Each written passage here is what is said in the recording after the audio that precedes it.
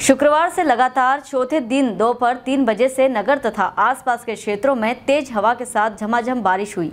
बादलों की गड़गड़ाहट और बिजली की तेज चमक के साथ सोमवार को रुक रुक कर तेज बारिश होती रही। इस बीच कुछ पलों के लिए ओले भी गिरे।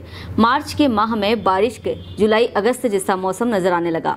वहीं मौसम एकदम ठंडा हो गया। तेज बारिश के चलते कुछ समय बस स्टैंड के पास जाम की स्थिति बन गई। वहीं कुछ कृषकों के खेतों में कटी पड़ी फ़सल भी भीग गई। कन्नौज से कमल गर्ग, राही की रिपोर्ट।